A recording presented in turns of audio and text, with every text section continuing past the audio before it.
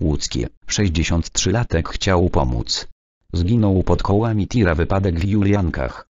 Pomagał kierowcy ciężarówki, zginął pod kołami. Tragiczny wypadek w położonych niedaleko Zgierza Juliankach województwo łódzkie.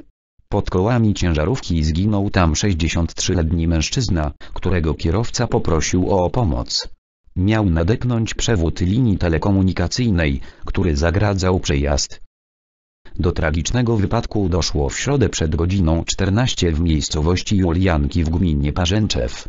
Jak ustalono, 55-letni łodzianin, kierujący ciężarowym manem, jechał drogą gminną. W pewnym momencie drogę zagrodził mu przewód linii telekomunikacyjnej, wiszący nad ziemią. Kierowca poprosił o pomoc 63-letniego mieszkańca powiatu zgierskiego, który miał przydepnąć przewód do ziemi, aby umożliwić przejazd ciężarówce. Wypadek w Juliankach.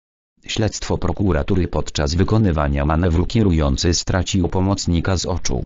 Gdy zatrzymał pojazd i wysiadł, znalazł 63-latka leżącego pod ciężarówką. Pieszy poniósł śmierć na miejscu, zrelacjonował przebieg wydarzeń Radosław Gwis z Komendy Wojewódzkiej Policji w Łodzi. Z wykonanego testu wynikało, że kierujący manem był trzeźwy. Okoliczności tego zdarzenia pod nadzorem prokuratury wyjaśniają policjanci ze Zgierskiej Komendy Powiatowej.